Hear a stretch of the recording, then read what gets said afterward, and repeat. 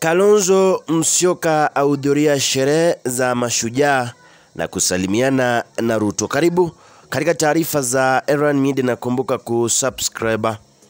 Kinara wa chama cha Wiper Kalonzo Musyoka, mmoja wa kiongozi ndani ya muungano wa Azimio la Umoja, amehudhuria sherehe za kitaifa kwa mara ya kwanza chini ya uongozi wake Rais William Ruto zinazofanyika katika Uhuru Gardens.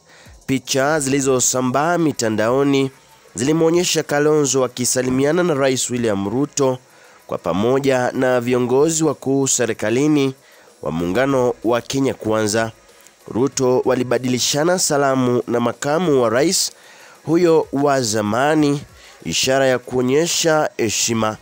Itakumbukwa kwamba wakati wa kampeni wawili hawa walikuwa wanarushiana cheche za maneno, lakini sasa hivi wamesalimiana, ishara ya kuonyesha upendo. Hata hivyo, duru zinaarifu kwamba rais hakuwa na ufahamu wa kuwepo kwa kinara huyu wa Wiper Kalonzo Musyoka, ila alinong'onezewa na kamanda wake wa karibu ambaye ni mbunge wa Mugirango Kusini Silvana Zosoro.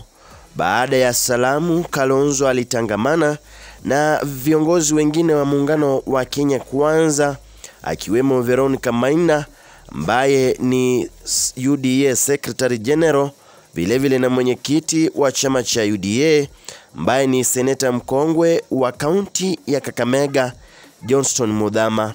Hatimaye Kalonzo alikaa kando na Anthony General anayeondoka Kiara Karioki ambaye alikuwa ameandamana na mbunge wa Embakasi Kusini Msili Mawithe. Hudhurio la Kalonzo limekuwa kama mshtuko wa kuwa Azimio hapo awali ilikuwa imetoa msimamo wake mkali dhidi ya kujihusisha na serikali kwa njia moja ama nyingine.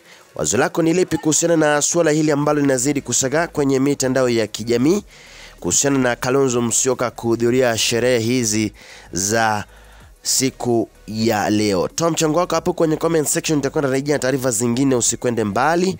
Hii ni Erwan Media, zidi kusubscribe hapa ndipo nyumbani.